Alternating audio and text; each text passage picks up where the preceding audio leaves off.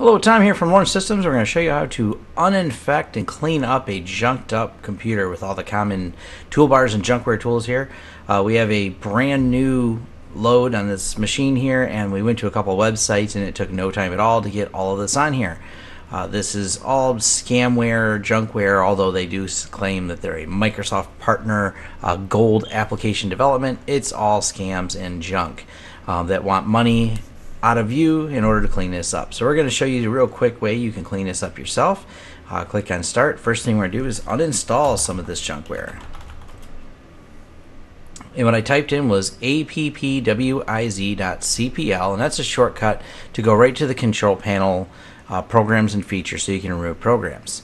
Now because we just loaded all this junk on the computer, we're, once this loads here, we're going to sort by the install date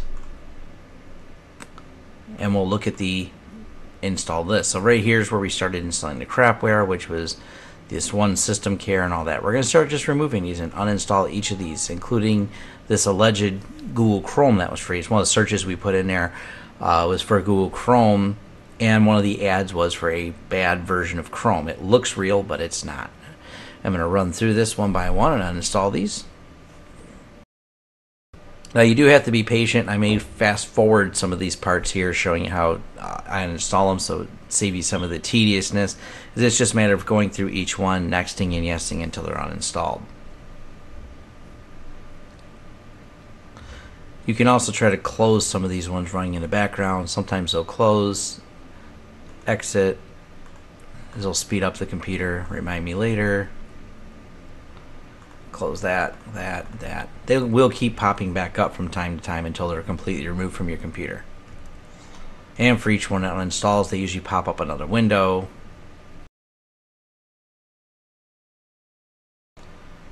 Sometimes if they refuse to uninstall, you can just reboot the computer and start the process over um, and they'll uninstall. Sometimes they'll tell you that it's still running. Go through each one, uninstall it, reboot, uninstall, reboot. So far they're all going pretty straightforward. Yes. This one requires a restart, so we'll go ahead and let the computer restart here.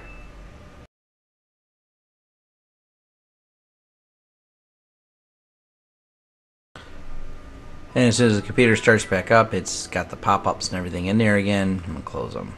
Yes, remind me later. Close.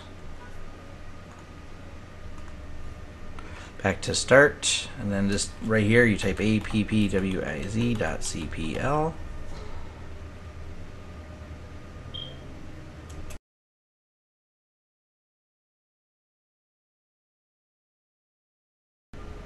This one wants to restart as well, so we'll go ahead and let it restart the computer again.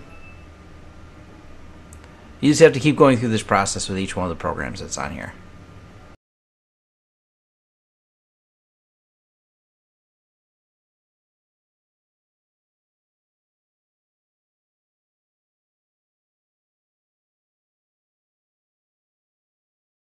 Now, the, the programs you have in your list may be different than the ones in here.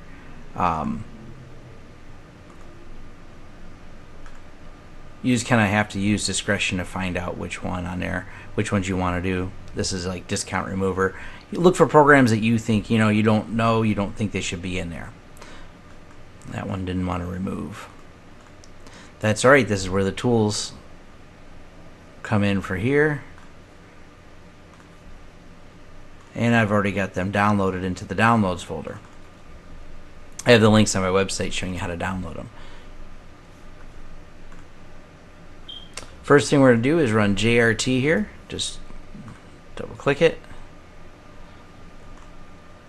It may want to run an update. Just say yes.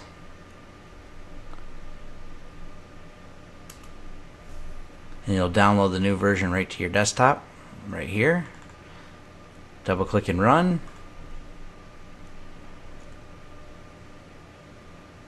And this will run through the JRT junkware removal tool, which will start the part of the cleanup process.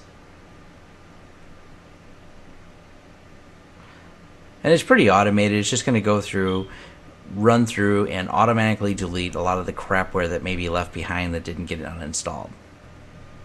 And I'll fast forward through some of this process How fast it will run really depends on your computer. The slower your computer is, the longer these tools take to run and the longer the uninstall process takes.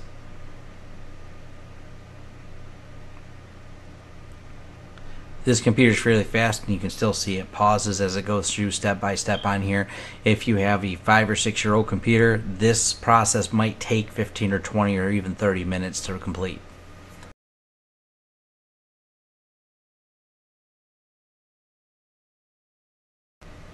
Okay, once the system's done, you'll see the log file pop up. Tells you what it may have removed, things it found. Just go ahead and close this. And that part's done.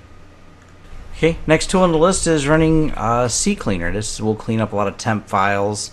Really simple tool to use. Leave it on your computer even when you're done. Uh, you can leave all the shortcuts.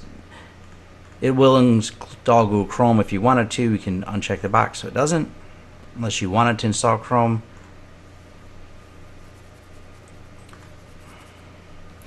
And you just hit analyze it finds all the temp files and then you can just run okay? And it'll clean them all right up. Deletes all the cookies and a lot of other just miscellaneous temp files left over. It also saves you some scanning time with the later tools. Next on the list is TDS killer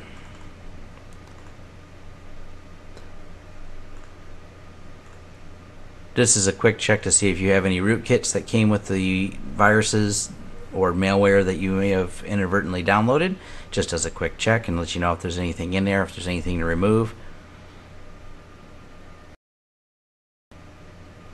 And there's a couple things in here. We're going to go ahead and tell it to delete whatever these things are it found.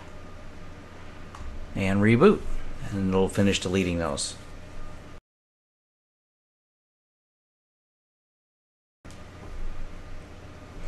And go ahead and say run when it does this because this is the tool running to finish deleting. And we'll run the scan again to make sure it got everything off the computer. And now it's clean, no threats found. Alright, we're going to go back to our downloads.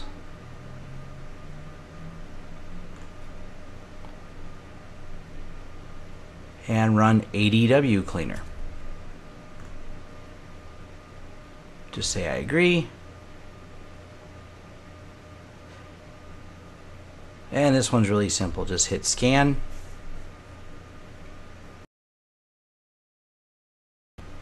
Alright, and it'll list in here under services, folders, files it found, shortcuts, registry entries, add-ons for Internet Explorer, Firefox, and Chrome, and automatically have an option to delete them. So these are like add-ons inside of each of the browsers. Uh, you don't really have to do anything. By default, it checks all of them for you. Just hit clean. It wants to make sure you're okay to remove it. If there's any of these uh, things you wanted to keep on here, you could always uncheck the box and it would keep them on there for you. There's nothing in there I want. It's 99% accurate at finding all things that you don't want removing them. So we're just going to click OK. It's going to clean it and it's going to want to restart the computer. And it gives you a list of all the things it deleted on restart. Just close that unless you want to read through the details on there. And you can run it a second time if you want to make sure it got everything. I kind of recommend doing that in case it did miss something. You can just rerun the scan again. You can see this is all clear. Found a couple other things in the registry it'll remove if we tell it to. There's just some leftovers. Uh, hit clean. Okay. go ahead and let system reboot one more time and it should be good to go. Last but not least, we're going to run Malwarebytes on this.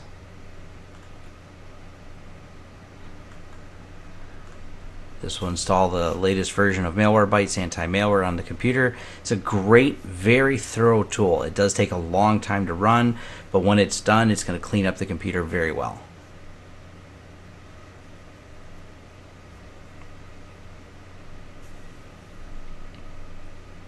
Close and it installs an icon on desktop.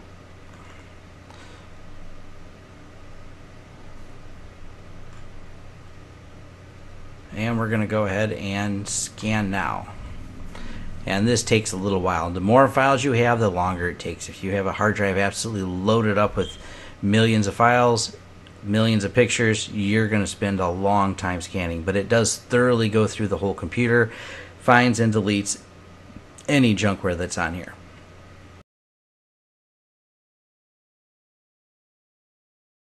And once Malwarebytes is all set, it brings you an option. By default, they're all checked. To remove them, just hit remove selected. Say yes.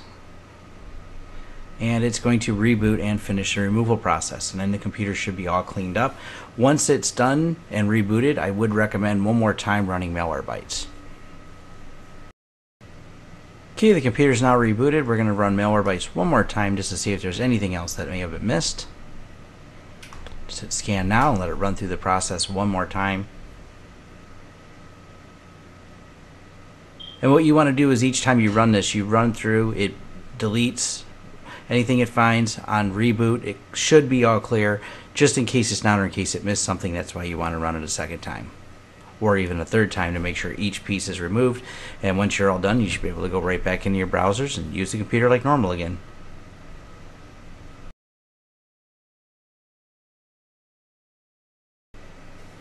Alright, now we have no threats identified, all the items scanned, and it is good to go and the computer's all cleaned up. Thank you very much.